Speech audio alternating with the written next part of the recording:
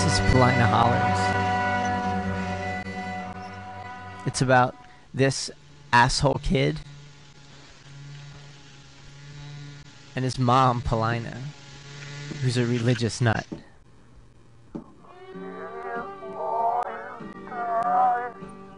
It goes, fingers curled, tendons tight, the morning rooster began to stir and cast light. Now everyone says, Paulina, your child is a bad child. He's running through.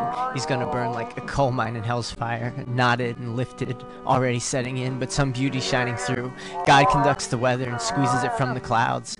God's hands spin the world as they speed up and slow down. But Paulina's son is an asshole.